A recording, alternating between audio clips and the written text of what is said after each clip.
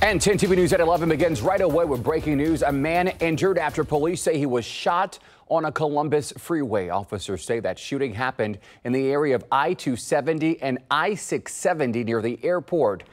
Then around 9:15, deputies responded to this McDonald's on International Gateway and found the victim's car shot up. Police say the victim is expected to survive. No suspect information has been released.